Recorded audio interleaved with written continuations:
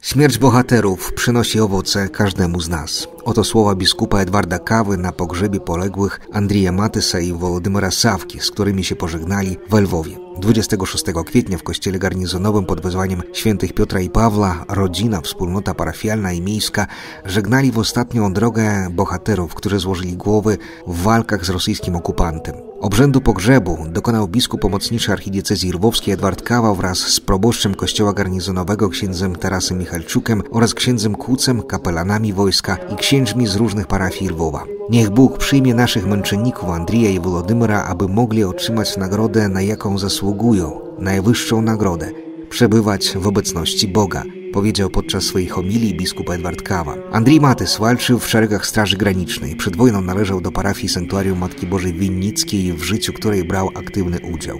Wolodymyr Sawka walczył z rosyjskim najeźdźcą w szeregach 63. oddzielnej brygady zmechanizowanej Korpusu Rezerwowego Sił Zbrojnych Ukrainy. Zginęli pełniąc obronną misję na wschodzie Ukrainy. Bohaterów pochowano na cmentarzu Łyczakowskim.